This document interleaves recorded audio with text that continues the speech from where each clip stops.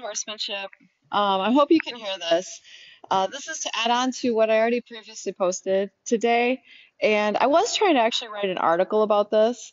Um, but you know, when we when we work with our horses, a lot we always talk about peace and softness and quiet because that's what we enjoy on the trail.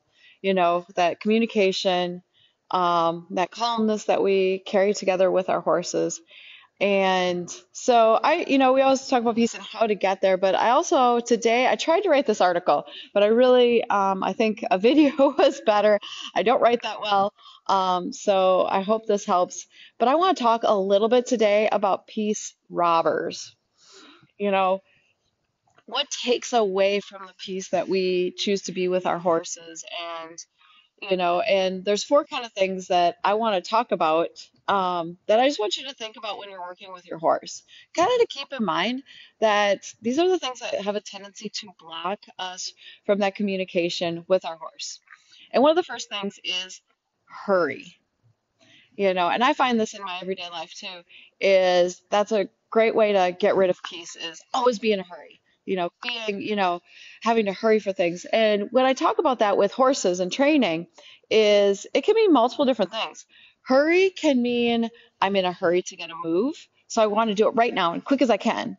And that can cause tension, not peace. You know, the other thing is I'm in a hurry to get done with the ride because I have this list of things to do you know and that's some things that can rob us of our peace with our horses you know when we're working with them. Don't be in a hurry you know. As soon as you get in that hurry that gets rid of that peace that gets rid of that communication. You know one of the things a quick tip about that whenever i'm working with um, a horse in training especially it is amazing and it's kind of the thought you know, it's not necessarily doing anything, it's the thought. It's when I am working with a horse and we're having problems and I'm like, take a deep breath and I'm like, I'm just gonna, this is all we're gonna work on today. And it might take forever. I might not get to that next horse. I might be staying here later, but I'm just, you know, oh well. This is where my horse is at. This is what I need to do. I'm just going to take the time. And it's so cool how quickly all of a sudden the horse goes, oh, and it just happens. It's a more of a mindset. The second thing is noise. Now, when I'm talking about training, when I talk about noise, is the noise of all of the aids, you know, just being so erratic. You know, when you see somebody talking to you and they're really doing a lot of movement, that's noise. How much do you start to go, oh my gosh, you know, well, think about that going into your mouth with your hands being so noisy or your legs being so noisy that now they don't know what to listen to. So they're like, I don't, you know, then they, that, that peace has gone away. Right, buddy? Uh, that peace has gone away from that communication. There's so much noise that they don't know, you know, there's not a calm, it's not that peace. The third thing, and this goes more into before you even get to the arena, is input. And when I say that, we have a, you know, there's the there's a great thing called the internet and there's a bad thing called the internet.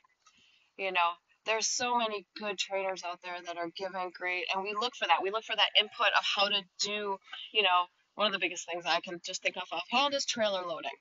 You know, there's a million different. You go on YouTube and you hit difficulties trailer loading, all the videos coming up you know, most of them are fairly similar, but then there's some that are, you know, kind of out there. You know, there's so much input, we lose peace. We lose like, okay, I don't know what to listen to. And I'm sure you guys have done this.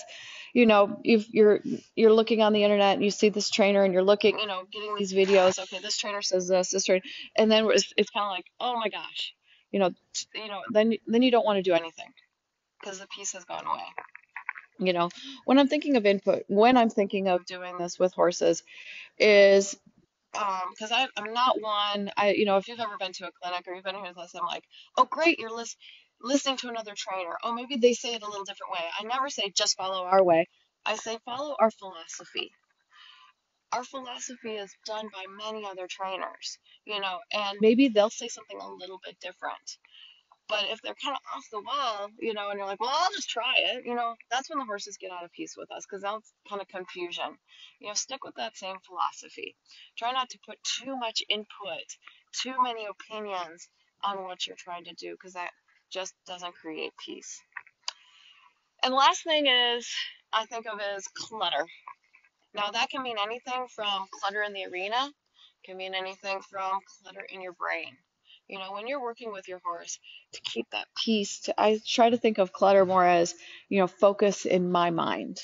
You know, what am I thinking? Am I thinking of just that right hind foot stepping under or that right shoulder stepping over, you know, or lengthening that outside, you know, that nice, beautiful stretch? You know, that's all I'm thinking. When I start thinking of, all right, I want that outside stretch. Oh, wait, I got to go get milk today. I got to pick up my kids at four.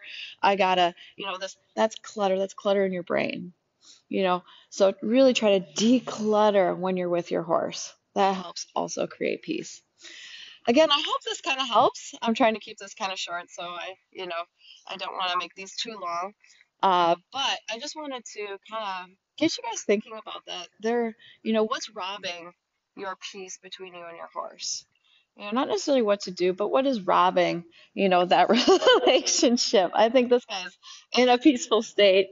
Uh, and I kind of chose this horse. You might see him on some later videos. This horse is really cool. He's a lot of fun. Um, and it's really, he's not at peace with himself, even in the field. And so that's what we're trying to create for him in a life, life. You know, not only, you know, when I'm working with him, be, you know, it's okay, life is okay, but also in the field. So I kind of was like, I'm, you know, I need a horse to kind of stand with. I kind of want a horse to stand with. So um, I thought this horse would be good. Uh, but I hope this helps you guys. I hope you know, this makes a little more sense in person. Again, I tried to write an article on it, but I still might post it. I have something written up so that way you can kind of, for those of you who more or less do better reading it, um, but I hope this helps. And you guys have a good weekend. I'll talk to you later.